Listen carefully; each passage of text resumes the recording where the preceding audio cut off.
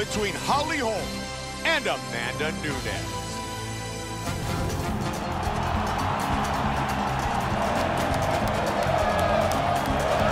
Our tale of the...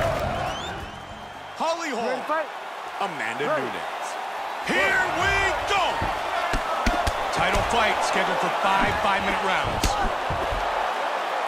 We've been witness to many great championship fights over the years, but few have garnered as much enthusiasm as this matchup. It is certainly safe to say that this may be one of the biggest championship fights of all time. This is one of the most important title fights of the year, if not ever. An absolutely massive and important world Whoa! This could be Trying it. to finish this fight quickly. Wow. like what a that. knockout. Beautiful strike here to end the fight early in the first.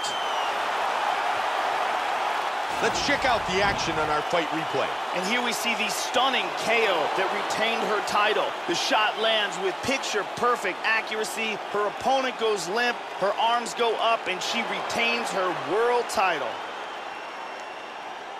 And here we see it one more time. Look at the timing in this shot. Boom! Right on the money. With the official decision, here is Bruce Buffer.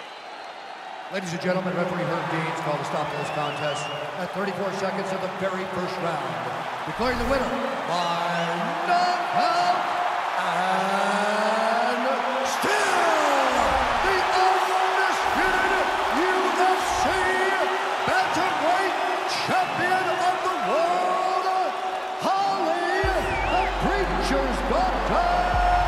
Holm. Holly Holm remains